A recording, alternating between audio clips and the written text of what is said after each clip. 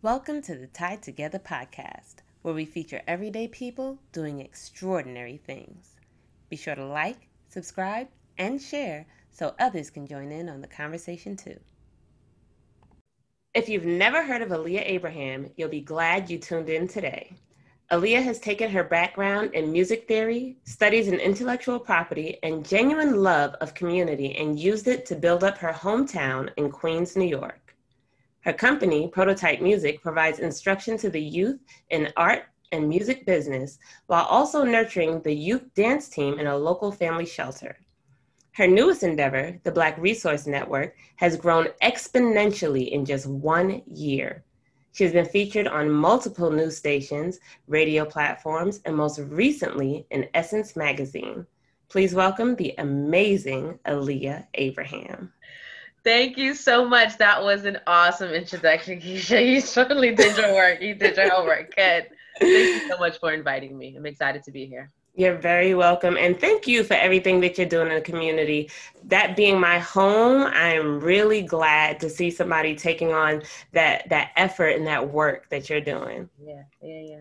Awesome. So let's start at the tail end, maybe, of the Blaque Resource Network. Tell me a little bit about that. Sure. Uh, the Blaque Resource Network is a space for Black people in Queens to network and share resources. Um, but we also include uh, people that work in Queens because they spend a lot of their time in Queens. It's also a way for people who might have moved out of Queens to still stay connected to their hometown. And we kind of, you know, have no limits to what we discuss and what we try to help each other with. The only criteria is to be Black and connected to Queens. So we talk about, of course, um, employment. We talk about, you know, uh, politics. We a large effort, of course, is supporting small businesses, buying Black, and specifically buying Black and local. I think a lot of our effort goes into that. Um, we talk about, of course, finance. We support youth entrepreneurs and youth uh, organizations and civic organizations, and on and on and on and on and on. We also have subgroups where we have a book club, and we have a vegan group, and we have a fitness group, and we have a, you know, we're starting a travel club. So, you know, we we are a large um, group of people. There are almost 10,000 of us now. And we talk about things together as a group, and then we kind of break off into our interests. Dope. That's so much. Yeah, so, it, it is. It is. It, it's it a works. lot. It's what? It works. Yes, yes, I see. You know, I'm a part of the group and I see all the things that you are doing. I'm curious, how did this even come about? Sure. Um, it started because my friend Dane, who I kind of started this with, he had an idea. I mean, I guess it started a lot of different ways, but the the the, the start point was my friend Dane Chong. He had an idea where he wanted to start something called Jamaica Avenues. So Jamaica Avenues, Jamaica Avenues, right? Uh, and we talked about it a couple years ago. Well, yeah, we should do it. We wanted like a um, uh, you know, something you could print out, put in all the stores, feature the business owners. Um, but then we never did it. You know, ideas come and go and then um, I'm also a member of Black Long Island. I have to give them credit for inspiring this as well. That I was always in that group, and I was like, oh, you know, I need to find a Black plumber in Long Island, you know. So they put that up, and everybody come in, and I'm like, wow, you know, Queens needs one of this. So I just thought back to his idea on really helping Queens businesses get exposure. And I hit him up like, hey, you know, let's start that idea that you had. Um, but you know, let's let's do a version of this and a little bit of that and just make it for Queens. And then here we are. That was only last year. I mean, 10,000 people later, here we are. I know, I know. How do you feel that it's been so well received? Um, I didn't expect it, you know. I just I, I, had an idea and I finally just took the first step and I did it. You know, I was already pretty involved in the community before I started this. And I know that kind of helped the growth so much because I was already going to my civic meetings and my merchants association meetings and my NAACP. And so when I just decided to just put everybody together, I was like, oh, okay, this makes sense, you know. Yeah. So there was a lot of years of of participation before I got to this point. But no, yeah. I did not expect this. because you've been awarded by the senator? Uh, recently? Yeah. Actually, our biggest, yes, we've absolutely been awarded by um, Senator Comrie, but mm-hmm. um, more recently, as uh, maybe two weeks ago, uh, the borough president made August 10th uh, borough-wide Blaque Resource Network Day. Um, so that's pretty cool, right? That's very dope. yeah, who gets Blaque Resource Network Day August 10th every year. So we got to do something cool. Yes. Yes, that's amazing. Yeah. So I do want to talk about your history before Blaque Resource Network, but I still want to know why the emphasis on Black because it's what's needed you know? There's there's a problems that we need to address that clearly there's a certain population that for centuries have been treated a certain way just because of the color of their skin. And um, we need to come together and do what we can. We need other people to realize that as well. We need allies mm-hmm. um, but we have to kind of organize and talk with each other and fix some of those problems. So i wanted to bring everybody together in a safe space that we can um, talk together yeah, and I, I, see that happening for a group that's so large. You all really do a good job of working together. Um, a lot of times you can get five people in the room and three disagree. Yeah, yeah. but you guys are doing a wonderful job of just working together and pushing those goals forward. So I do commend you with that. So yeah, to, 10,000 people, we don't have too much drama. I can't say anything no. crazy has happened. For the most part, everybody has a common goal. I love that. I love that. Um, to go back a little bit, so I want to talk about Quinfest. Sure. Yeah. Yeah. Tell me about it. Sure. The Queens Youth Music Festival. Um, uh, it started because I had this other I have this other group uh, called Prototype Music, and the purpose of that group was to you know mentor, develop, and showcase youth artists primarily in Queens. I'm super Queens. Everything I do. I get it. Queens. but um, you know, Queens needs it. Um, so we we started that, and that was with my friend Rodney. Um, just because we were already artists, we were already performing artists, and then they were just younger people coming up that um were just curious. You know, how do I start? How do I write this song? Or how do I shoot this music video? And we are like, all right, come on. So you know, we just started writing songs for them and helping them shoot videos, and you know, taking them to the studio, and then you do all of this great stuff and then you're like, okay, well, what are we gonna do with it now, right? Right. Mm-hmm. So we mm-hmm. wanted to create um, an opportunity, a, a, space to showcase these youth on a higher level, something higher than their school recital or, or something like that, something where they felt like, nah, this is a this is a top concert, you know. Yeah. Um, and we just took our own money, and we, you know, we would fly out kids from LA or Nickelodeon wow. and and the TikTok stars and Musical.ly stars and just have them perform with these kids. And it just, you know, it was so well received as well. Our first two years we were at Amazura, then we went to St. John's, and then last year we were at Citi Field. So it did grow um, quite a bit over a few years. This year we're kind of, you know, trying to figure out uh, what to do um, with everything that's happening. You know, no concerts are happening, but we still keep in touch with all of the kids and still try to keep something going. Yeah, I see the, the growth as a pattern and and what you put together, and I think it's amazing when you when you put something out there that people genuinely love, they just flock to it. Yeah, you know, yeah, and yeah, when your heart's in it. Yeah, yeah, yeah, yeah, mm-hmm. and then you just get people that understand your vision um, as well as you do, you know, and everybody just works together, one band, one band, one sound, and and puts the work in. Absolutely. And so you were an artist at one point as well. Is that right? Yeah. Yes, yes.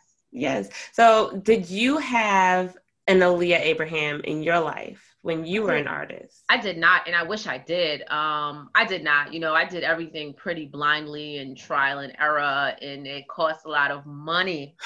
um, so my hope is that I can help it not cost as much money for another child yeah. um, another young person even another young adult. Um, so that you know that's just what i try to do. Anything i know you want to know anything i can help with i'm you know i'm gonna help. Absolutely. Especially if you're black and from queens. Can't forget that. But i understand you know because we're from the same area and if there's not there's not always that hand to pull you up you know? And if you could reach any level of success and turn around and pull somebody back up the way you wish you had that's always very commendable. And it's my goal and i can tell that it's your goal in life as well. So i think that's pretty dope. Yes we i i, just i don't we always have to start from scratch right? So right. if i can just help somebody start from maybe level two i, I you know that's only i'm trying um and i'll just put you on my back as much as i can and we don't have to always start from zero. Right so that's just kind of what we have to do. Mm-hmm, mm-hmm. So are you still making music? Um, no, but you know, people are trying to just just come out with another singles, come out with another. You never know, but that's mm-hmm. not exactly what my focus is right now. Right. So I want to talk about um, the dream that you had then versus the dream that you have now. So I'm going to assume, and you can correct me if I'm wrong, that at one point your dream was to be an artist. Is that right? Um. I mean, yeah, yeah. I, I mm-hmm. mean, my dream I can go back even further. My dream, I think my dream is to help my community. It kind of always was, mm-hmm. which is when I was an artist, I started doing my own events rather quickly to put on other artists before I was even doing anything oh, with wow. myself. You know, so I think that dream was bigger, but yes, of course I wanted to um, be an artist, but mm-hmm. I was more motivated on being together to gather with my community right together and do something i think that was a much larger dream of mine right and i ask you that because um, for me at one point in my life i wanted to be a real estate mogul. That was what I wanted. Mm-hmm. Um, I loved going to look at houses. I loved looking at them in magazines, and I wanted to just be in the field of real estate um, as I got older, I realized that I did not want to do that, and it was a little jarring. It was like, but but that was my dream forever. Mm-hmm. So what do I do now? Yeah. So I'm wondering for you, what was it like when you said, "No, I'm not going to do that at least right now," and then turn the page to something else? How did that? Yes, feel? yes, yes. Um, I realized I didn't want to be an artist when you have to have a certain type of personality that I just don't think I have. You have to just give all of yourself and be just very exposed. And I, I'm just not that type of person. And I knew that. Like I have the technical part, um, but I don't have the the the artist part. And I just wasn't willing to become that person. Um, so then it had to I had to come to a point was like, listen, maybe that's not for you and that's okay but mm-hmm. maybe you learned a lot of skills um, during that that can transition you to the other part of your life which it did um, so i don't regret any of it i'm okay with um, changing and expanding and discovering new parts of yourself. Mm-hmm. Um, it was disappointing, but not for very long because I picked up something else that was, you know, similar enough rather quickly. Yeah, I think as we get older, we realize that it's okay to change. Okay. Um, because initially, when you're first getting out into the world, um, it's like, okay, I know what I want, I'm going after that. And then when it's time to change, it's like, but wait, what happened? You know, and then you learn that it's okay and you can grow and move on from it and the place the space that i'm at in my life now i realize that all those things were necessary to get to this part right here you know it what and it's not necessarily a, a, change it's more a foundation stone yes. you know? So i think that's dope. And you you discussed or just said about discovering new parts of yourself. What's a part that you think that you discovered when you changed from artist Aleeia and then expanded on philanthropist Aleeia? I discovered um, that I am much happier when it's not about me. Like I don't like to be the center. Um, and I discovered that I can I like doing more for other things than for myself. And that was the problem with being an artist like talking about me and I'm so great. I'm just not comfortable with that. I mean I love me no that's fine. Yes, but I know that that a career that that's the focus it just doesn't it doesn't work for me and I'm more comfortable supporting mm-hmm. um, so that's something that I I discovered you know after my career as a performing artist yeah what was the hardest part you would say uh, making that transition? Looking back on all the money I spent mm. and like all of the other things I could have been doing with that money. I think the finance part is is huge. Uh, you know, when you're trying to build something for yourself and you're like, I could have done so much. Why did I think I could do that? I could do so many other things. Um, but that's okay. Yep. But that's okay. I yeah. think the hardest part for me is not even me. It's other people who are just like, so you're not gonna come out with an album again? I'm like, no you know people don't want to accept the change and you can't be too mad at them because if you you know especially with music like if you like my music i can't tell you you know no i'm not doing that you know i don't want to do that right. but having other people accept the new you kind of is a is a challenge as well it is. It is because once you become happy with the the new version of yourself, you want everybody else to come on board. And sometimes they're like, "But I really like Aleeia." yes, what's wrong with her? Where is she? When is she coming back? Right, right. So jumping back into your investment into Queens, New York, what are some of the things you hope to see come about in the community as you move forward? Sure, I'd love to see a another i won't say the only because there is a black spectrum theater. I'd like to see another um, large art and culture institution. I'd love to see a significant business center. I'd love to see um, just space entrepreneur space and artist space um, for us in our community that is controlled by us.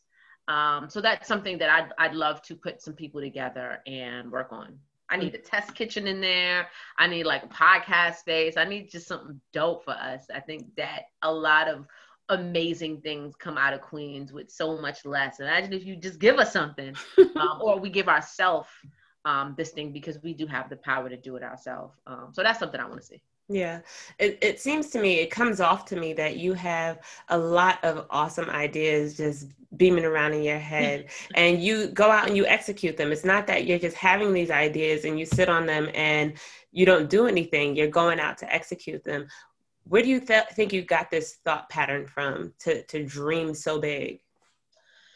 You know, I do not like to have an idea and don't do it. Like, it's it's not something that I've worked on or that I make it a point to do. Like I have anxiety if I have an idea and I don't do it, or I say I'm gonna do something and I don't do it. That's just my personality. So there's not much I can do about that. You know, I'll wake up in the middle of the night like, why did you say you were gonna go to her party and you now you're not you know, so it it, it causes me stress if I don't do what I said I'm gonna do. So I can't take too much uh, credit for that. That's just how I was built. Mm-hmm. But why do you think that you're capable of it in the first place? Where does that where does that drive come from? Not everybody believes that they can dream up something and then do it. Where would you say that even comes from? I have to give credit to my super supportive parents.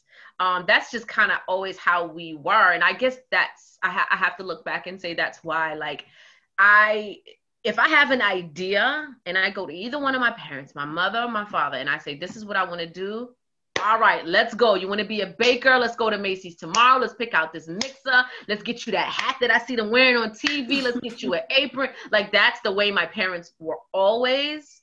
Um, and they don't let you falter um, with your ideas. So I guess I just continued that on my own. I mean, they're they're still super supportive people, but yeah. just as an adult, mm-hmm. um, I just always kind of maintain that um, yeah. drive. So I have to give them credit. Absolutely. My parents are, are very similar. Anything I tell them that I'm doing, they they really believe that I can do it. They're yeah, like, you they know, believe. What are you What are you waiting on? Get it yeah. done. And I believe that in myself now because of the belief that they had in me. You know, I believed it as a child. Anything I would ask them, can I do this? Can I do that? Yeah and they yeah. meant it. Yeah. I felt that they meant it. If they lied, they did a good job. Because yes, yes, yes. I felt like they meant it. That's it. But I, I, I have to give them credit. Like there's, there's not much. I couldn't do what I'm doing right now if it wasn't for the foundation from my parents. Yes, I agree. And I know that there are youth um, and adults that may not have the support system that you and I had. Um, I had a friend growing up, have still have that friend growing up, whose parents did not speak life. They spoke defeat into her, um, told her what she wasn't capable of and what she'd never accomplish. And that can really just bring a person down for the rest of their lives yeah. if they let it. Yeah. How would you say someone should go about increasing their confidence, boosting, boosting their confidence if that's what they're told, if they're not pushed on like you and I are. So, uh, just so I understand your question, if there's something you want to do and you're not finding the support, is this the question? It, the question is really if you have never really been told that you are capable, how do you find that inner strength and that inner belief to tell you, tell yourself that you're capable? Well, you have to start hanging out with different people. You have to find your space, find your network, find your group. There's a group out there for anything anyone wants to do um, to motivate you. Lord knows Facebook has a group for everything, and even beyond that space. Um, find a group there are people out there that want to see you do well and you might not know them uh, they might not be your friends and family but look for your support system because because you deserve it. Um, and sometimes people discourage you not because they don't want to see you do well is that they don't believe in themselves so they can't believe in you right? Or they're just afraid for you and they're not used to anybody succeeding. So they they want to prepare you for the failure that they expect. And that might not be your path. So go out there and find people who understand your vision and maybe even understand what you want to do. Because sometimes you talk to people about concepts that they they can't think of so they don't understand how something like that is possible. So go find people that understand that space um, mm-hmm. and and talk to them and build with them and grow with them. Yeah absolutely.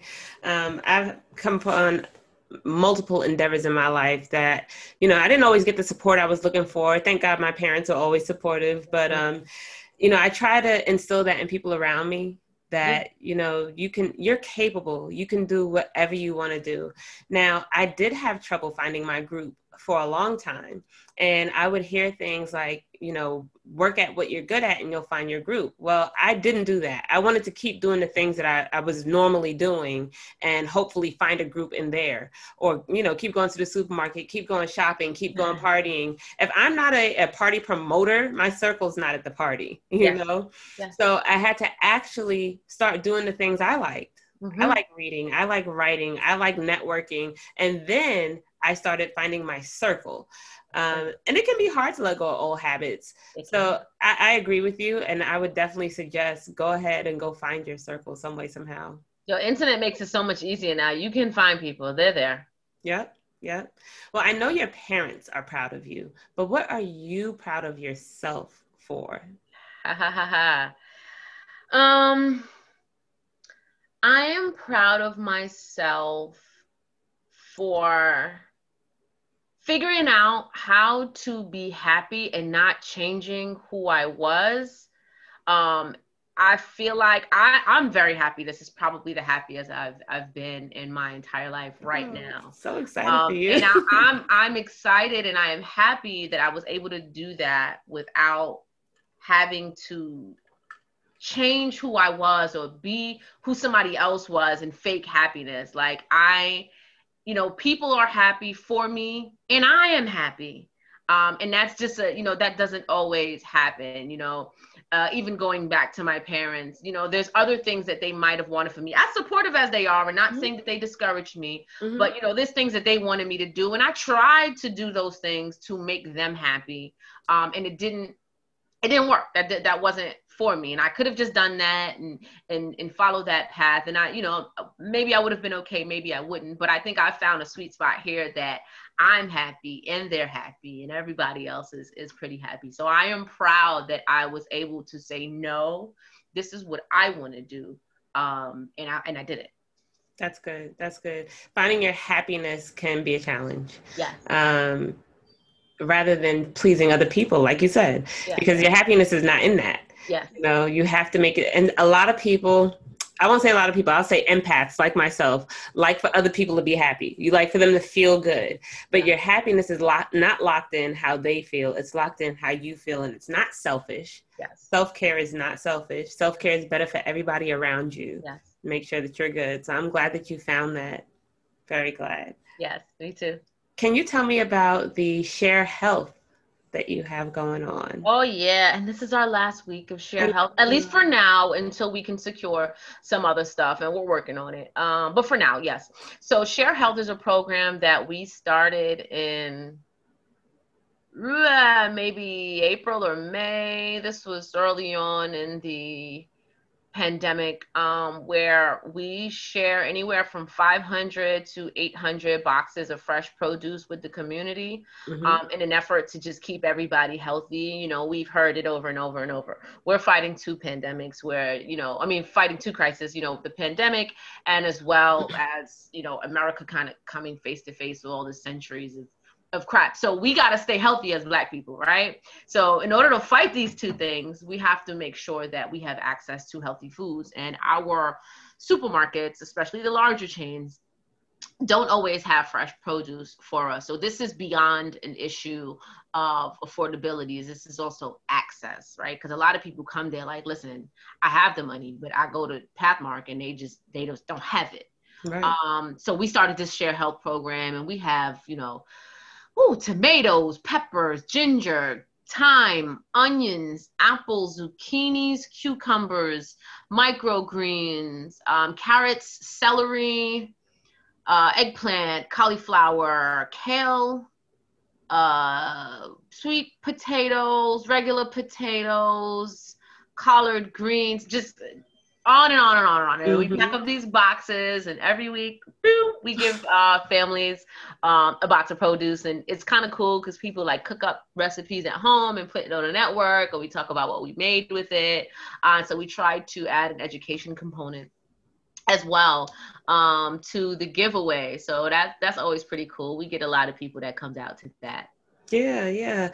There are other people in other communities um, across America that may, may love to do something like this. What would you say their first step is to, to get this out there? To get which out there? The, the, the share health. Yeah, you know, I got into share health because I just started looking up um, who were doing food giveaways mm-hmm. and just messaging them. Like just write people. I found that um, other communities have solutions for problems that they don't have.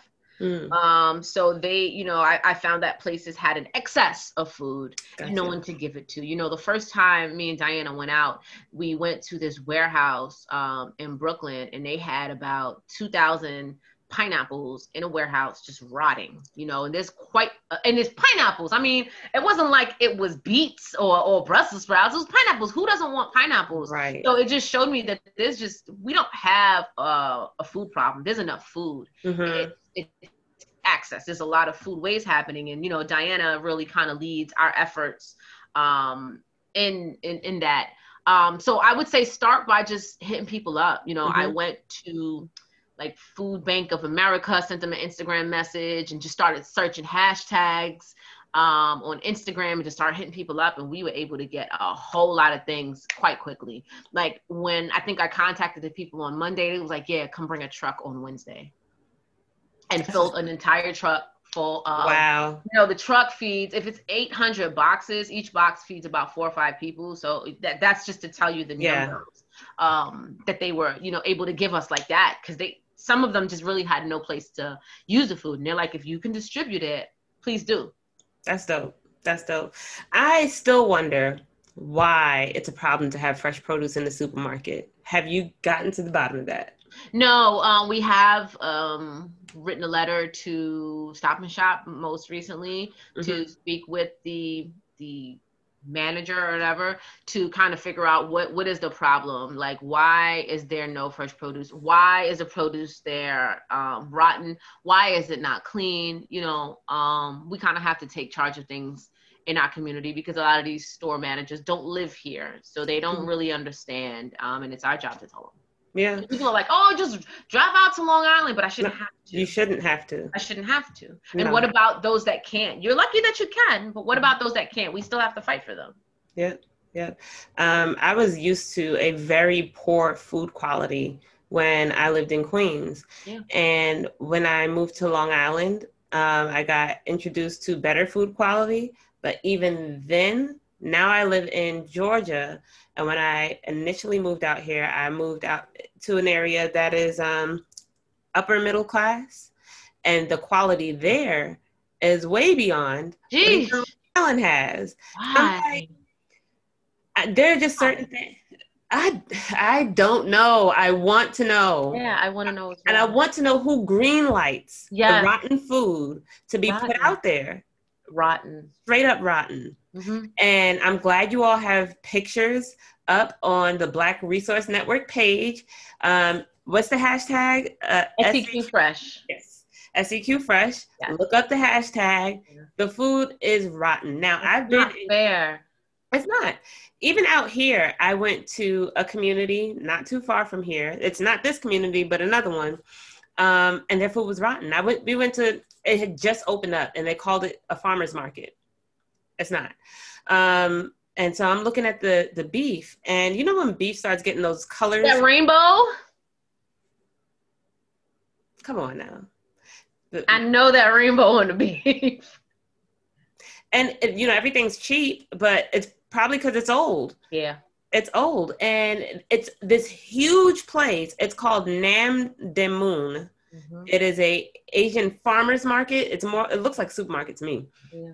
Um, and it's in the middle of a black community in Jonesboro, Georgia. And I, I want to say I bought a pencil sharpener. I just was not going to buy any food from there. My family and I went to go check it out, and I'm like, "Why is it? It had just opened when we went. I'm like, why is it already rotten? Mm-hmm. just opened. They're going to take old food from somewhere else. I'm like, oh, we just sell it to them. Is that what They'll happens? I want to know the process. I yeah, want to know who's saying yes. I want to know who's putting it out. I want to know if there's a, an, an employee saying this is not right, and then a manager is saying put it out anyway. Yes. Because it doesn't make any sense. Yeah. And people are probably getting sick. Yeah people are getting sick. It's they not probably. Yeah, they are getting sick.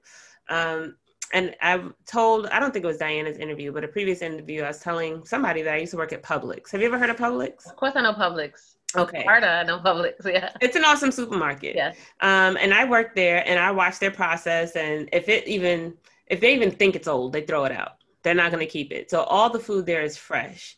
Um, and I like the way they do things, but there are certain things that you just don't find anymore, like seeds and fruits. Yes, what, seeds what, and fruits.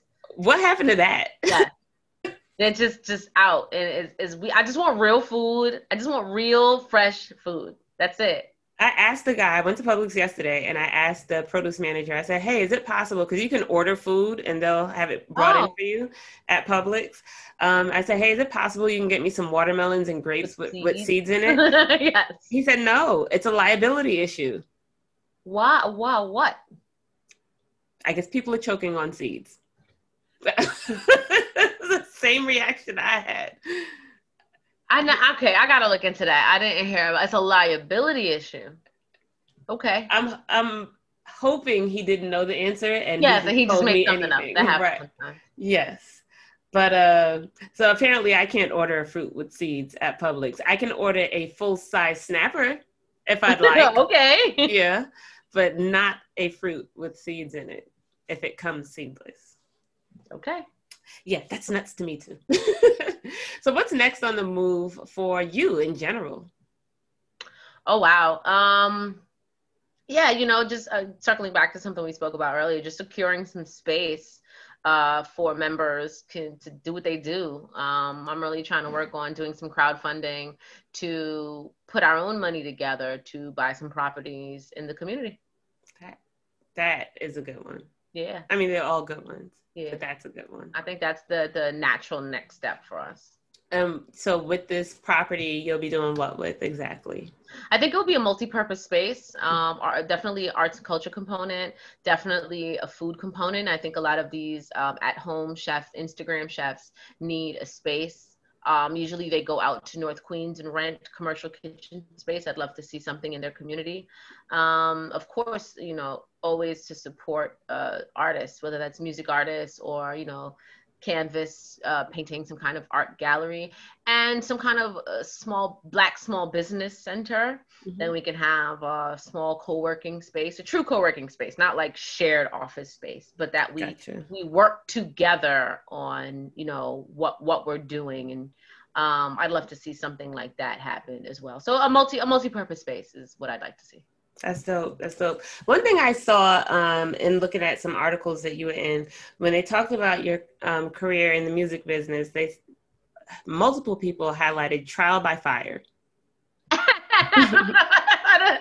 I did they? I don't know. Yeah. I haven't looked. I haven't looked at Google in such a long time. Let's talk about that. What does that mean? So, so for me, what that meant, um, because I'm coming from the car industry, right? Okay. Um, so trial by fire in the car industry means really they just put you out there. They really call it throw it to the, throw you to the wolves. Mhm. They, don't, they don't train you Mhm. for anything. Um, they say you're hired, go sell a car. Yeah. You don't know how to do the paperwork. You don't know how to greet a customer, anything like that. So I took it as somebody gave you a chance, and then, then they walked away. That was it. And, it was, and that's exactly how I, I felt like it went. Um, it was kind of like, and go, you're on tour. Okay, what does that mean? Yes, that that that very much was my experience, and I learned a lot very quickly. Um, and that's when I learned it wasn't for me. Yeah, yeah. Um, I would imagine that you learned a lot very quickly because you wanted to win so bad. And Yeah. when when failure is not an option, Mhm. you learn really fast. Which I'm not. I'm not. I'm not gonna lose. If we got to change up what it's supposed to be, but I'm not. I'm not gonna lose. I'm not gonna be defeated. hmm I think that's like one of the keys we were talking about earlier about how to find that that inner drive or to be able to just say yes to yourself Mhm. is uh not having an exit strategy. Yeah, there, there is none. Right. Yeah. If you have one, how hard are you really gonna go? You're always gonna look back like I don't have to do this when it hurts. I can just do that. Right. But you have to decide what's the thing you want to do. You have to, that's the first step. Decide what you want to do and then get the exit sign off the door. yep. You're stuck. Yep. Mm-hmm. Dope, dope. Aleeia, where can we find you um, and all that you're doing and the multiple platforms that you're on? Sure. You can always find me probably 14 hours a day in the Blaque Resource Network because I'm always there and I'm always posting and interacting and uh, communicating with my neighbors. Uh, B L A Q U E, uh, Blaque Resource Network. If you need to send me an email, you can send it to info at blaqueresourcenetwork.com. If you just want to send me, me, Aleeia Abraham, an email personally, you can send it to A L E E I A Abraham, Aleeia Abraham at gmail.com. I will write you back. Um, you know, if you want to work on something, you have an idea, you want some advice, you want to find a good restaurant in Queens, hit me up. I'm here for it. If you have young artists, specifically in the Queens neighborhood, that would like to participate in any of my programs, um, I do have a small event coming up on Labor Day for for families and youth, and we have some youth performers. So if there are any young adult or youth performers out there that want to participate, come on by. If you have some money to give the Blaque Resource Network, come on by. If you just want to send me some money, um, come on by. Uh, we're here. You know what I mean? I'm, I'm pretty easy to find. Aleeia Abraham, A L E E I A. Hit me up. Awesome. Let me ask you about the um, youth program real quick. Sure. So you're teaching young artists about the music industry. Yeah. Um, where can they they go? Where is that in Queens? Yeah, yeah, yeah. It's in Queens. I work out of the studio on Jamaica Avenue primarily. Mm-hmm. So yeah, we just do different different things. We do workshops, we do shows. When we're doing the shows, we try to include the kids in all of the planning aspects. Like, all right, we're gonna go look at these venues. Let's go. Um, you know, all right. So what do you think about this artist? What do you think about that artist? What kind of food would you like to see? You know, we had we do have junior committees anytime we're putting together events because you can't you can't tell any group of people what they want. You got to kind of listen to them and hear what they Mhm. want. Um, so that's kind of how we do it. Even if like if I'm taking Sarah to the studio, I'm gonna bring John. John's not recording anything, but he could be on this side and understand how Yeah. to kind of direct an artist. Um, we just bring him along. Yeah, yeah. I'm going to ask you my last question, but I need to know this first. Sure. You are very busy. Ex- extremely busy. Blaque Resource Network, um, QuinFest is not happening this year, but you're still working with your students, um, and you have a child. I do. I'm Right. married with a, with a child, and I Yes. still have my graphic design and social media marketing business. Yes. yes, yes. Is there any time for Aleeia? Um, that that is Aleeia time. It makes me happy. Good. That is that is it. I'm I'm not unhappy with my busy schedule. Um, you know, I make sure that I carve out time for my family and make sure spending time with them, as well as including them in what I'm Mhm. doing, is very intentional. Um, um, so I'm. I don't need. There's no other time. What am I gonna do? I'm just gonna end up planning something. This is Yeah. cool. This is my time. Dope, dope. I love it, Aleeia. Last question. Sure. What is a quote that you live by? Okay, yes, you did say you were going to ask that. Um, yes. so I, I, have a, a quote. I don't know who said it, um, but it's it's something like concentrate or focus on your strengths, not your weaknesses. Um, and I definitely live by that. Mm-hmm. Um, I think that, and what that means is um, it gets very frustrating trying to fix the things that are not right with you or you're not very good at. You get more satisfaction on becoming better at the things that you're good at. So you have to align yourself with people who have the opposite, right? So I know, for example, I'm not super organized, right? Um, so I have my husband, and he's very, very, very organized. So I know that that's the type of people that I need in my life, and I can spend more time on you know i pay close attention to detail and i'm good at bringing people together and you know i like um, speaking engagements and things like that so i get to spend time on that so that's the advice that i give people and a quote that i live by spend time um, building your strengths um, and don't worry so much about your weaknesses with some exceptions of course don't do illegal things or anything crazy to anybody but that's a quote that i try to live by i don't know i don't know who said it i don't even know how to look that up um, yeah, whatever. uh, but that's that. That's my quote. That's a dope quote, I, and I agree. I think really, if you focus on your negatives, it make it pulls you down, kind of. It does pull you down. You get very frustrated and, and defeated when you get so much more satisfaction on just building what you already do well. Mm-hmm. So thank you so much, Aleeia. We could have done hours, really. we could have. Um, but people just need to look you up and follow you and see all the awesome things that you're doing. This yes. is just an appetizer. Yes. to who Aleeia Abraham is. I really appreciate you and I love, love, love the work that you're doing. Thank you, thank you. I love the work that you're doing as well, and I'm gonna go look you up now, and uh, you know, figure out how to to connect with you as well in Georgia. We can connect with anybody anywhere. Would love to. Would love to. Thank you so much, Aleeia. Thank you. Bye. Bye.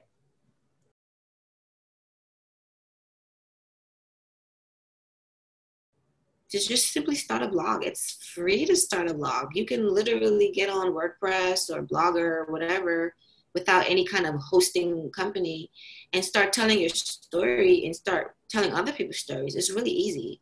You know the hard part i guess is getting traction is getting more visibility and getting people to start you know taking you seriously and maybe look at it as a career or making money at it. That could be the challenging part too.